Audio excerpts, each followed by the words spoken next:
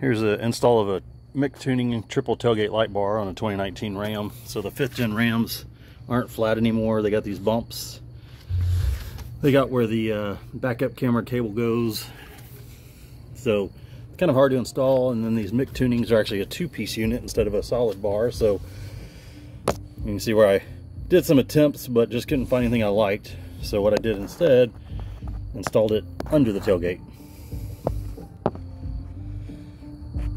So still got to kind of do a better wiring job, but I got a connector coming, a harness coming for that. But uh, for now, just have it wired in there. Just have it screwed with some uh, self-tapping screws, sheet metal screws.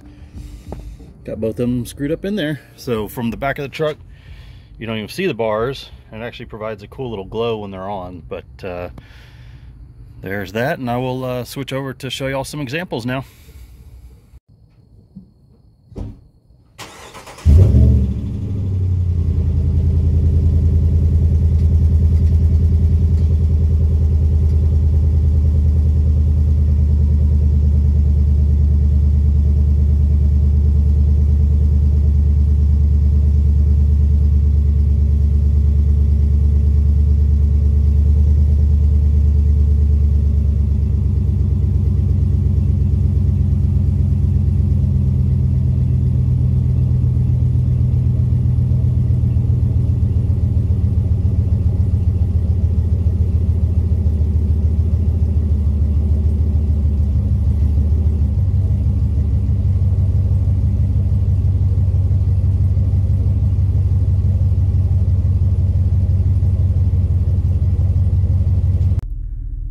This is the current light from my my tail lights.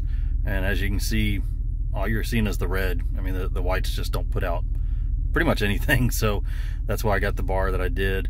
It comes with a wire that you can tie into your tail lights. And when I get the new harness um, probably Monday I'll go ahead and wire the the reverse into that so it kicks on with reverse. But for right now I actually brought the wire up to a, a switch panel under the hood so that I can just hit a button in my cab and light it up on demand and I'm gonna go ahead and even leave that even once I get the uh, harness I'll go ahead and leave the switch in here so I can just use that even without having to be in reverse I can go ahead and get that light on there. So um, in addition to the bar I actually have two pods back there that I can light up as well. So I can pretty much make it daytime behind me now. So but um, so anyways that's the difference with the uh, light on and off with that bar under the tailgate